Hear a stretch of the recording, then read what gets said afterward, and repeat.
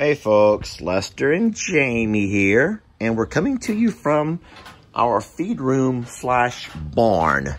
And the reason that we're over here is because it's raining, and Ringo is being quite the jerk this morning.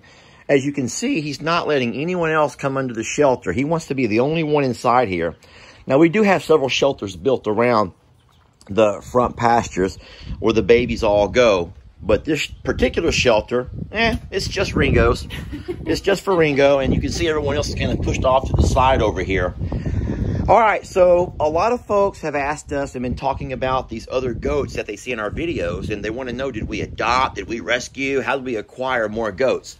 And the answer to that is, we haven't acquired anything new. We are just simply babysitting. Uh, Stephanie, my sister-in-law, has been having some fencing issues, and she's asked us to watch her babies while her and her husband do some uh, some redo, some rebuilds. They're going to do something similar to what we've done here, but there's a problem in that. Jamie, why don't you talk about our little problem here? Well, this is her Billy. And he is sweet as can be. He's nothing like Ringo. Nothing like Ringo, and he's a beautiful goat. Except for he's still intact. So that means that there's a potential that he would be after our girls. No, there, there's no potential. He's Okay, after he our girls. He is after our girls, specifically Meg right now. He has eyes for Meg, and Meg does not want any more babies.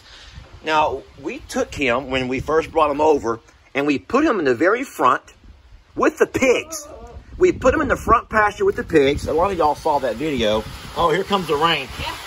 What did he do, Jamie? Talk louder. Okay, well, he gets through any fence possible, which is probably why she's having fencing issues. Yeah, we we yeah. Sorry about the noise, but we have this is a metal roof, folks, and it's going to be loud. Uh, but no, we thought Ringo was the uh, an expert at finding his way out of fences Yeah.